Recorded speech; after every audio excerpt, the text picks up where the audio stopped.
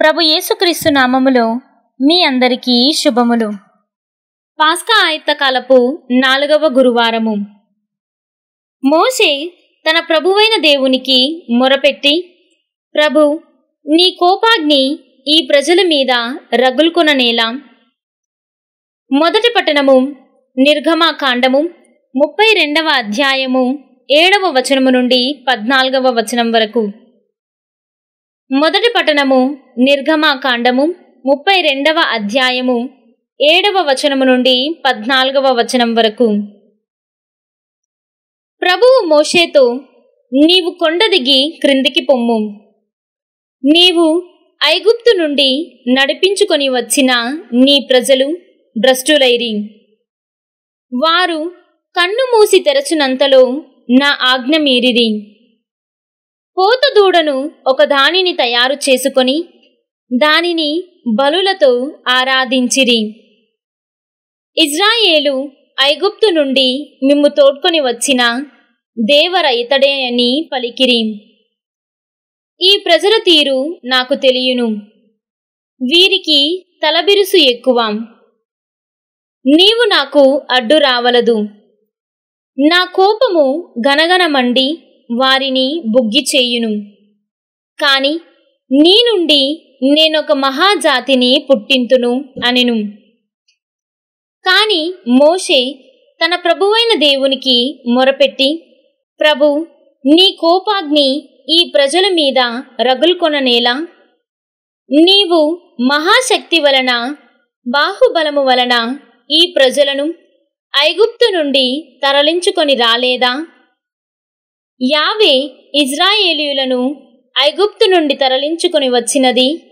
మోసముతో వారిని కొండలలో మట్టు పెట్టి అడాపొడా కనరాకుండా చేయుటకే కదా అని ఐగుప్తుయులు ఆడిపోసుకోరా?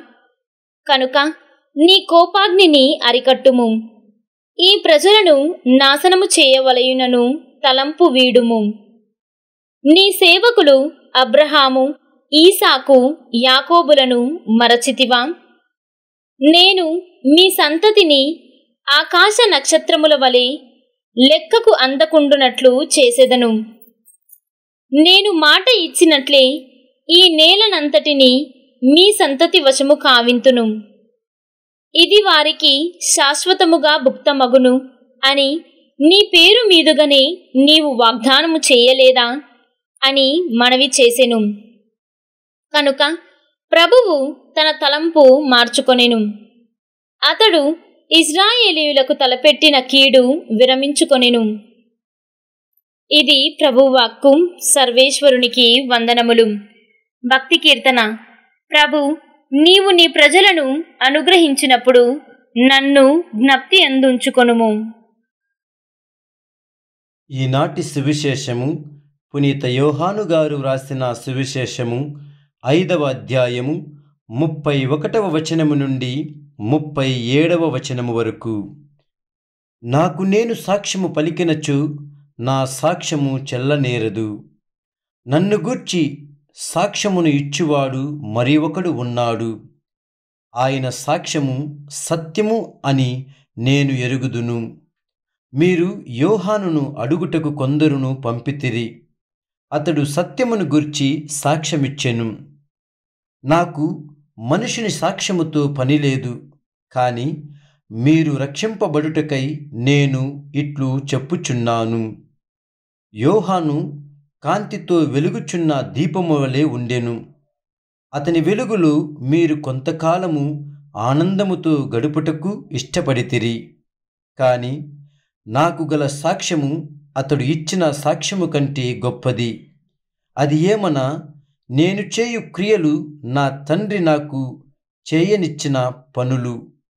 నన్ను గుర్చి సాక్ష్యమిచ్చు తండ్రియే నన్ను పంపినని నిరూపించుచున్నవి. నన్ను పంపిన తండ్రియే నన్ను గుర్చి సాక్ష్యము ఇచ్చుచున్నాడు. మీరు ఎన్నడును ఆయన స్వరమును వినలేదు. ఆయన రూపమును చూడలేదు. ఇది క్రీస్తు సువిశేషము. క్రీస్తువ మీకు స్థుతి కలుగునుగాక